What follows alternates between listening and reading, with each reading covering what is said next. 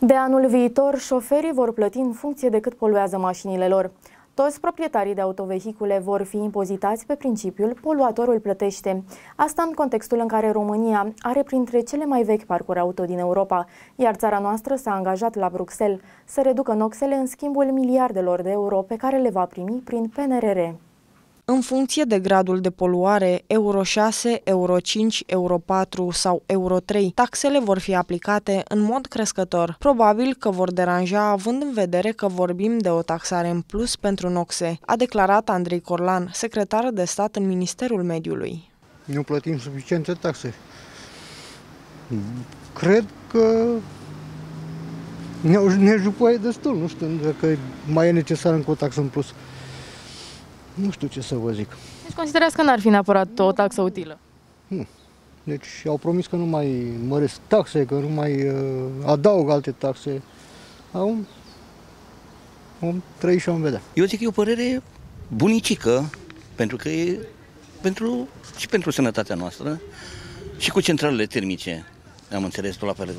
Deci e o, e o părere bună. Da. Dumneavoastră ați fi de acord de acord, Da, ca să vă spun și de ce. Să mai excludem din uh, autovehicule astea, că sunt vehicule de 25 de ani, 30 de ani care le avem în, uh, de circulă pe drumurile publice. Sunt de acord, da.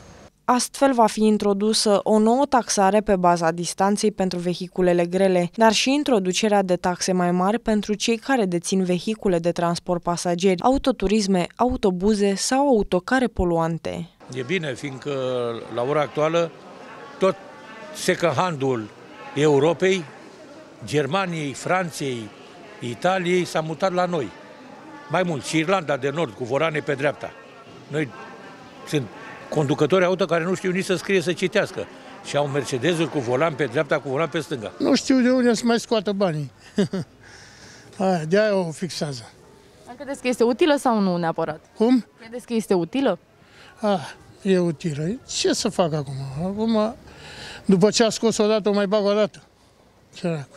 Doar abia a scos Prima taxă ar putea fi plătită de transportatori pe bază de distanță, ceea ce înseamnă că nu vor mai plăti rovinietă, ci vor plăti în funcție de distanța pe care o parcurg. A doua taxă se referă la gradul de poluare al mașinilor, dar deocamdată nu este clar ce înseamnă mașini poluante, pentru că în programul de guvernare nu apare o referire la acest subiect.